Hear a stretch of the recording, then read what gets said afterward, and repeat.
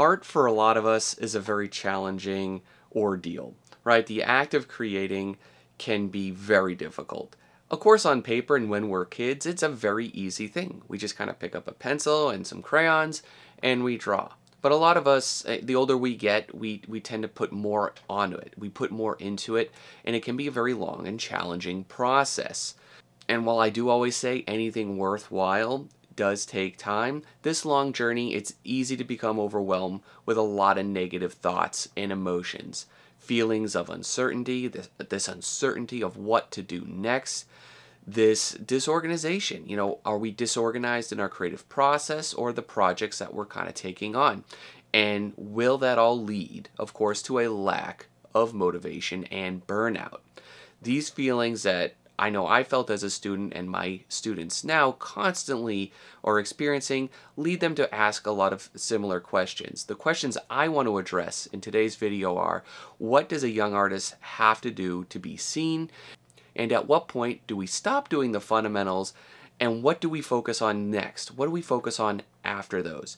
So if you are an artist and you've experienced some of those, or maybe you're experiencing that now, I think this is going to be a video for you because I'm going to go over a lot of little actionable things to help you stay creative, to keep that passion there and why that's important, and of course how to avoid creative burnout. I'm Tyler Edlin. I've been an artist and instructor here now for close to 15 years.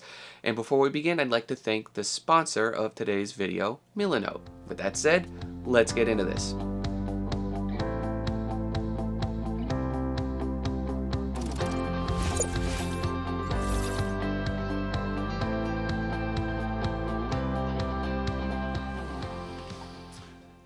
So, uh, first up today, what does an artist have to do to get noticed? And when the students ask this, I think they aspire to be some sort of professional, whether that's a production artist, maybe a renowned illustrator on a well-known property, something like Magic the Gathering, or maybe they want to work on the next big AAA game.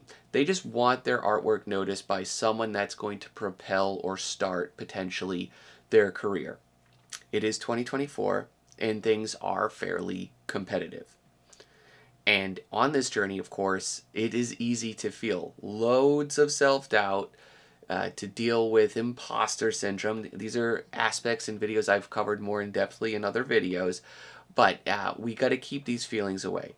And I know for me personally, and this same thing is actually going to help us get noticed, uh, and that's to kind of reflect on why you started this career or why you started developing your skills to begin with. Reflect back at your beginnings. And for me, I do have to remind myself occasionally why I started this whole endeavor. Before I ever thought of making it a business, before I ever thought of monetizing it, you know, why did I draw? Eh, for me personally, it was, it goes back to the 90s, you know, when I just loved video games. I loved the worlds, I loved the escapism. I loved the characters and the settings and how my imagination filled in the blanks. This is what got me creating. And so that's why in like a video like this, I'm creating these characters. I don't have a huge reputation in this field as, as a character artist. I'm more of an environment guy, but I love creating these characters and I'm not going to redefine the genre with them. I'm, I'm not going to set the world on fire with these characters. First and foremost, I'm creating them for myself. I'm finding enjoyment in them, and it's keeping this creative fuel in me going. And so, what's awesome about this passion is it actually has a halo like effect. It's contagious. I was on a call with a student last week. They had just got off a program at a fairly rigorous and prestigious art school. They wanted to start some new creative endeavors, some new projects and we got uh, you know two weeks into it and i could instantly tell there was too much of this creative friction going on between them and the project. I could see they were not in it. They, they liked the idea of it but they needed to switch gears because it's very obvious when you're working on something if you're not fully committed to it and if you're most importantly not enjoying the craft. You're not enjoying the project, whatever the case is. It's very obvious. And so for me that's that's always my go-to to recommend to students to like stand out is to take some of that technical aspect out of it figure out what's fun to you, and then figure out a way in which you can potentially grow from that. I think you used to be able to stand out a lot more in the past with a high skill cap, but I think things are changing now. I am certainly personally drawn to more art that captures the artist's sense of personality, what, what they prefer. It's giving me an insight, a window into them as a creator. And I am absolutely loving that. So not only is your passion powerful fuel for yourself, but it will help you build and form connections. I know when I'm doing these characters that, that I'm working on here today, I, and I can post them. Again, there's far better character artists, there's far better character designers out there. But those that do like it, those that do share it, that have even commented on it, you know, that's already kind of starting to form little bits of connections. And that's what I'm simply recommending here is to look down deep inside, potentially way before you saw and were exposed to this whole industry of artists. Figure out what you just like to do. Because if you can find a way to make it fun, then you're going to be able to keep on going. And that's what we're going to get into next, is ways to cultivate your creativity while maintaining a certain level of funness and just applying a little bit of structure to that. And that leads us to at what point should I stop learning the fundamentals and what's after that? Well, you never stop learning the fundamentals. There's always room for improvement. Let's get at that out of the way. But for me, what I recommend, like once you have a comprehensive understanding of all those major important aspects of perspective, of composition, color and light, shape design, once you have a core understanding of those, now is what I'd like to call a great time for creative play. Grinding endless drills and exercises will only get us so far, and it's an easy trap a lot of creatives fall into, where you're essentially just grinding out and forming patterns of mindless work, right? Logging hours for the sake of it, or because you heard someone else mention that you should, and you don't really know why you're doing this anymore. So, as I was saying, creative play, slightly structured, will actually take you on a new leg of your creative journey, no matter what your artistic goal is. There are many new startups and established companies in the market nowadays, and whether your goal is to create a portfolio that attracts potential employers or whether you're developing work to launching your own creative business, projects are the key for achieving this. Every industry, every company has their own set of different standards that they're looking for. Is this is never a one size fits all. One portfolio may be great for one studio and be very irrelevant to the next. But if anything 2024 has taught me is that just having a clear understanding of your fundamentals probably will not be enough to make you stand out and to land you that job you're seeking. So with a project, you really want to express your own inner creative voice, what your passion is, right? What your interests are, and what, of course, you're good at. This will, of course, help you avoid the trap of having that student looking portfolio where you have essentially one of everything that you ever created one of each exercise, one of each study, one environment, one character, one prop design, one interior, right? That's a very obvious student portfolio trap we want to avoid. So personal projects are going to be your key to victory here. So and ideally with, with a personal project, you're going to be using it to foster a new skill to supplement your existing one, or personal projects are great at playing up and fine tuning your strengths. Either or. And so this is where the sponsor of today's video, Milanote, comes in. Well, if you've never heard of it, Milanote is a tool for organizing any kind of visual projects.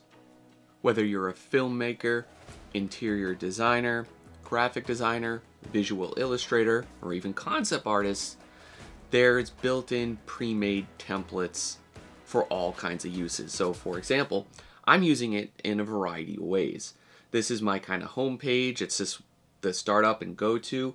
And I have a little basic calendar set up. I like to kind of project three days in advance. I put a very big kind of to-do list. These are the things I have to get done. And I also have my projects and my students are using it as well because Milanote has a lot of built-in collaborative features. So uh, my student Nazarene, for example, is going to start a new project and she wants to share her art direction with me. She can make her own little board, set it up, and she can use a combination of images, uh, text, she can visually describe things. I could come in here, I could draw on it, give her notes, leave her feedback, and point, you know, my students in a good direction very effortlessly now. I've been using it lately and with these past videos to work on a nice little world building project. And it's perfect for visual thinkers like me because it allows me to organize my ideas in a way that just makes sense for me. Again, loads of drag and drop features. So again, if I need to create a new subboard, I can just literally grab the board option, drag and drop like we can kind of see here. And now I can go in and organize the ideas within there. And that's what students are always asking. You know, how do I start a new project? I've already kind of answered when to, and that's after your fundamentals. Start a project just by jumping in and outlining a very few specific and clear goals. You know, whether you are working on one of your weaknesses, like I am, I'm filling in my, my character design. So here's my character board, and every one that I finish, I'm just, you know, dragging and dropping and pasting into here and then of course I can come in and add a little bit of flavor text or if I need to make notes I can I can use arrows and kind of point and connect things and I can make a whole clan rivalry chart board or I can make a family tree you know to some of these characters if I wanted. It, it makes it so fast and fun. If you've got a detailed plan out in terms of what you want to do like for me what could I do with a project like this? I could come up with some stickers, I could make an art book, I could do a series of illustrated short stories, Maybe long term I could make some resin figures, a board game, a video game, or design like a poster card set. That could be fun. Uh, I could make it into a whole art business. Now, if, if I am early in production like I am, one thing I love to do, of course, earlier in a project development, I recommend this for everyone, is to make a simple mood board. This is what's going to keep me inspired through the late nights. What's super cool about Milanote is that I can use a combination of texts, imagery, and even videos, right? Like I have Chrono Cross's title screen just playing here on loop because I love it. I saw it in 1999, it inspired me then. It's inspired me as a full-grown adult now. Just love the game, love the setting and the world. So like let's say I do have a distant idea to maybe make some of these character designs that I've been working on as like a sticker or something and I wanted to start formulating my ideas. Like I said, I could go into the board. If I see an idea right now on, on Pinterest or on ArtStation or even in the Cara app, I could go in and just grab it, right? Like, let's just say I love this Ghibli texture. What if this Ghibli texture is a sticker idea? I could simply just copy paste it. I have it here. I could drag and drop it, forms it to one of my uh, templates. And I didn't even start this from scratch, this new sticker board idea. I'll show you kind of how I'm doing this. Milanote's got a lot of built-in pre-made templates. So you can start with something like this, and you basically can go in and then just fill in the blanks for what your idea is. Again, there's something for everyone. There's hundreds of these templates. So right, if I use this, it's going to clear it, and now I can hit the ground running, essentially, with my ideas. It's simply saving me a lot of time when it comes to organizing these creative ideas.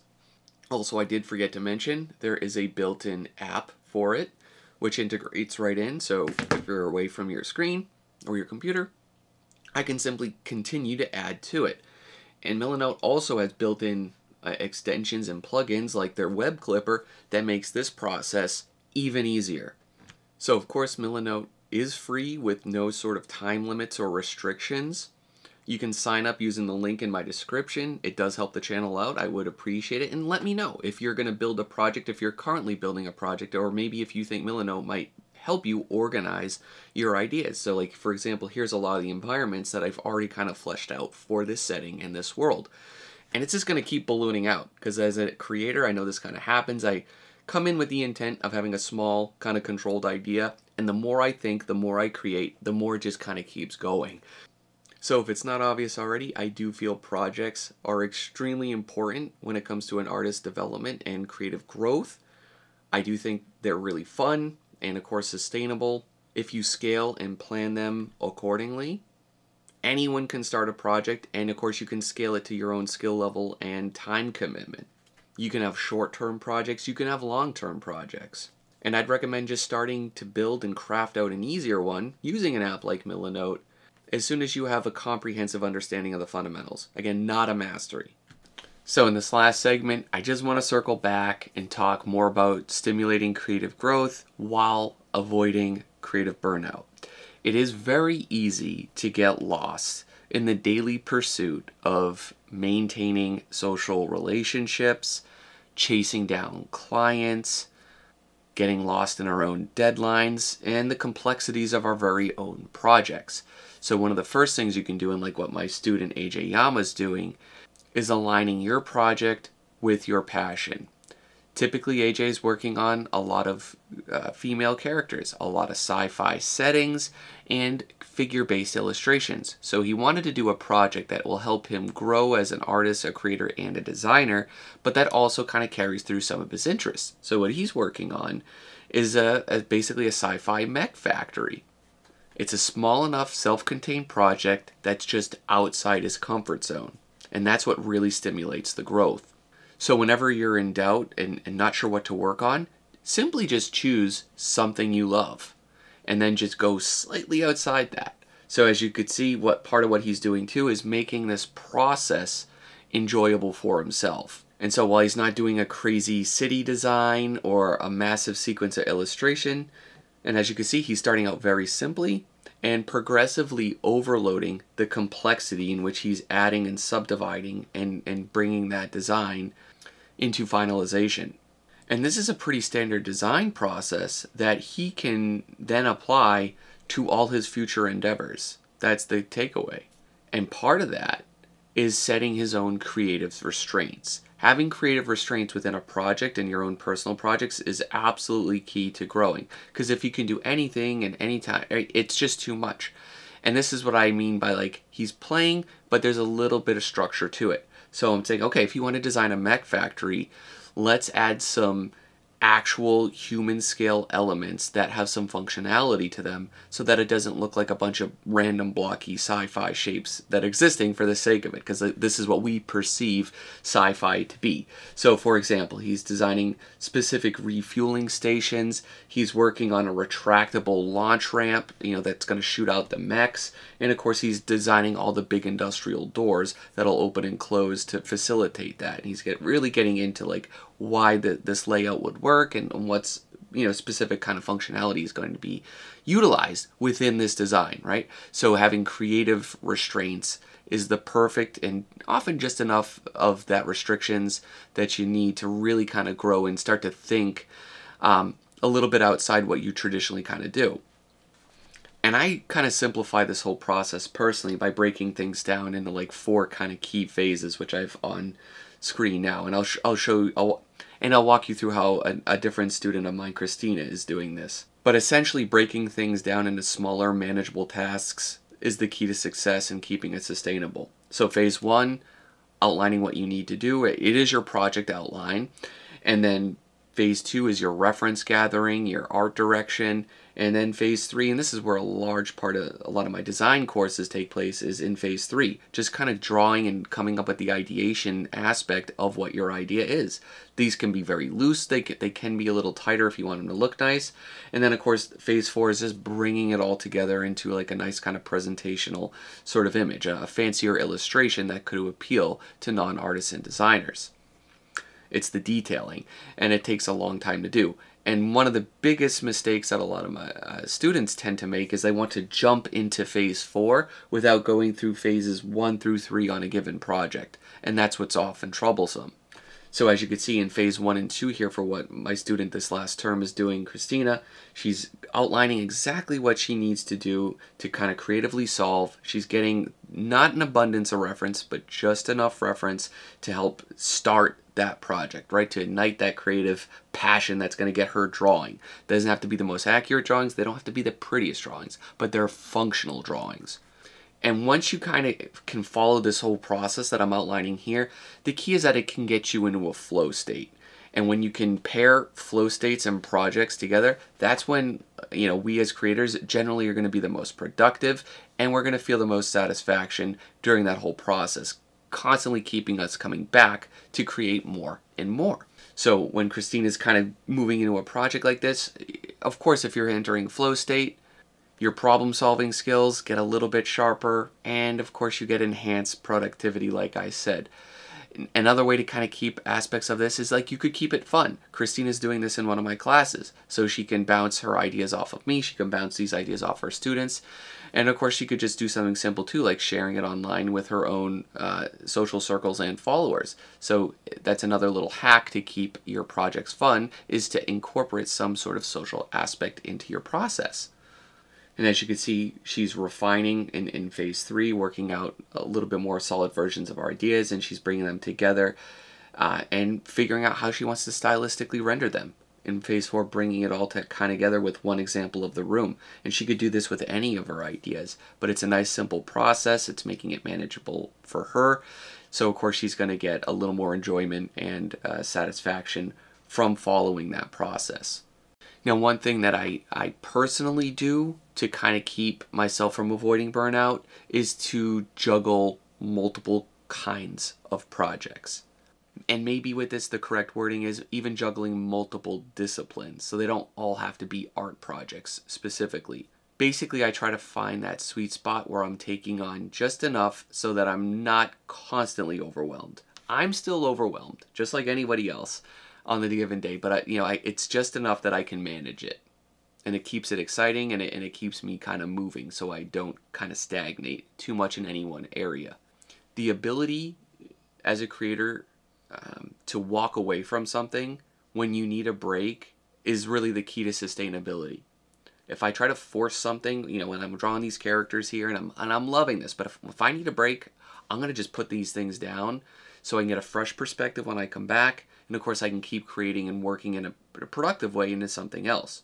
So, for example, I have different kinds of projects. One of them are my house projects. These are things that I tend to daily. I'm trying to constantly improve my lawn. I'm working on the design of the perimeter of my property, which is fencing, it's edging, it's certain specific types of gardens that that's going to entail, right? There's a lot of effort that I'm putting into there. And it's keeping me moving, which leads me to my next project. Like my physical fitness is a huge project. It's a long-term project that I'm investing in, but it's something I'm constantly thinking of and trying to improve for my time put in. And then of course I'm working on like my character designs and my environment design course. There's a lots of little moving pieces. And then that way, on any kind of given day, uh, I can kind of just switch gears and put what I need to on my plate. So I'm never constantly just burning out from trying one thing too many times. That's how I do it and that's how I made it sustainable for the last 15 years.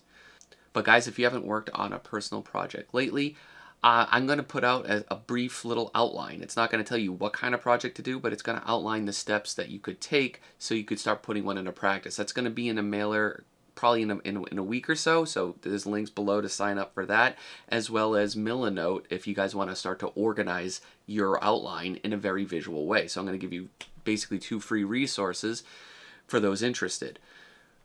The worst thing that we can do is to not act or start a lot of our ideas. And it, I saw a quote recently by Mark Twain. And so he said, in 20 years, we're going to be more disappointed by the things that we didn't do than the things that we did. And, you know, he's right. You know, all of our time here on Earth is limited. I, I hit 40 this year, and it's like, yeah, you know what? I just want to constantly make sure I'm getting the things done that I need to. So, you know, I'm just starting all kinds of projects. I don't even care if, if they work out or if they ever amount to anything. I'm enjoying kind of creating them, and I do feel like I'm getting some growth from them as well. And then hopefully, you know, I'm, I'm not going to regret not just starting all these little ideas that I have in my head. So again, I'd like to thank Milanote for sponsoring this video and help keeping my ideas organized. Guys, let me know below what you think and if, of course, you have any projects that you want to start this year.